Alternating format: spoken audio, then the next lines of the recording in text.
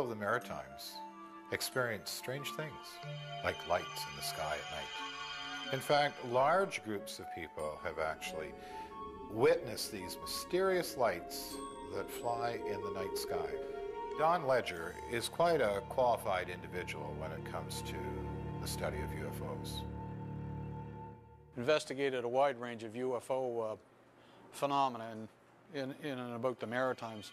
We'd often have uh, orange balls that are sighted uh, coming in off the water, coming in over the land, uh, and then and then the the, the, more generalized UFO uh, of it being a silver disc shape.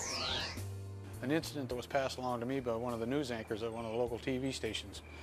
Two young girls, 14 years of age, were walking down from their house, and it was at night. And um, while they were walking down the road, they noticed a brilliantly lit uh, cluster of lights in the sky uh, just off to the side of the road to their left. Immediately, both girls knew that this was something unusual. Uh, one of them immediately became quite agitated and, uh, matter of fact, fearful, while the other one was fascinated.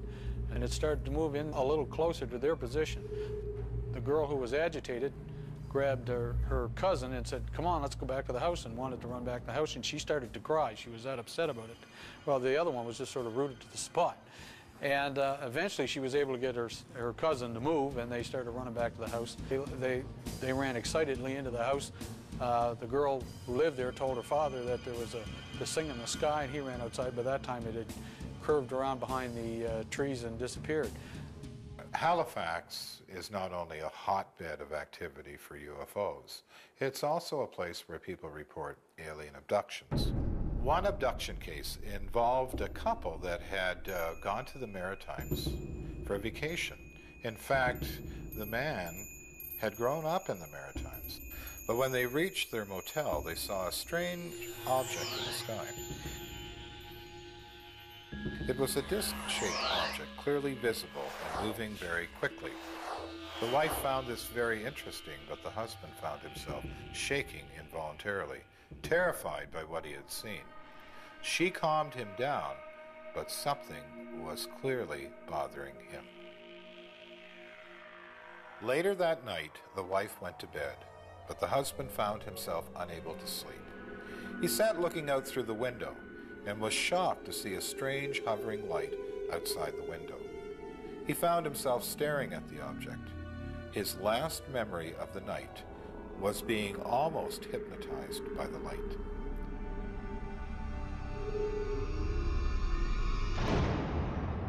He woke up in the morning confused. He had no recollection of getting in bed, but he was. He had even changed clothes.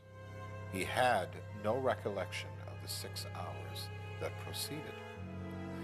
Nightmares began to plague him always involving the lights in the sky and some strange dark creatures hovering over him. Instances of missing time had also occurred in his childhood. He admitted to his wife that he had seen a UFO as a child, and that the same nightmares of being marched off by some strange creatures had plagued him even then. He truly believes that something has been following him and that these abductions may be an ongoing part of his life. It would seem that these alien creatures had waited for his homecoming to revisit him.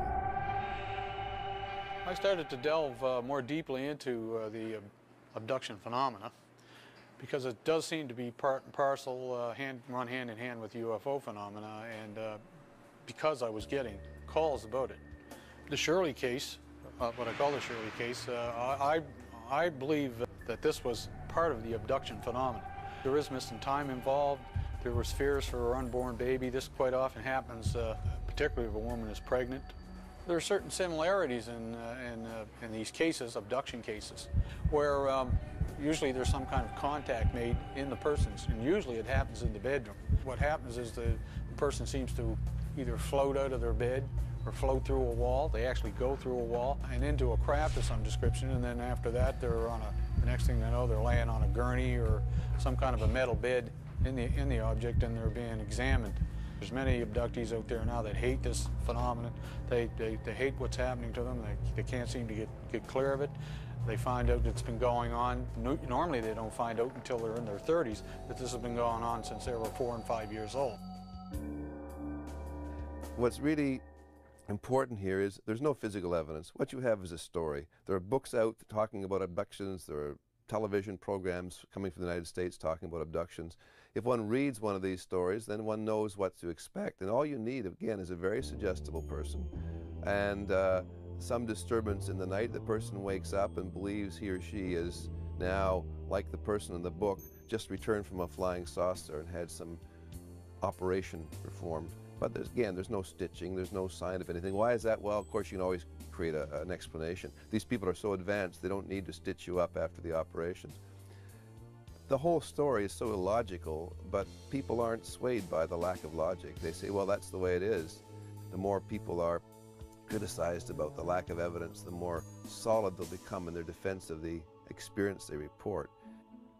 At any rate, uh, if one looks at the logic of it, one would wonder why, if people were advanced enough to come all this way to our planet, first of all, why they'd bother with us if we're so unadvanced. Secondly, why they would bother picking up people and then returning them. And thirdly, uh, how it is that they're so magical that they can escape all detection and not leave the slightest bit of physical evidence. So once again, it's like ghost stories.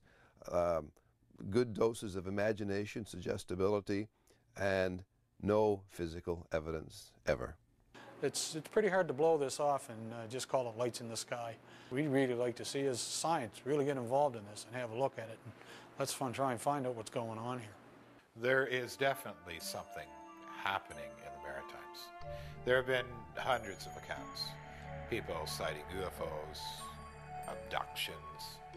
We're not sure what all this means, but we cannot deny the fact that something is happening in that area of this country.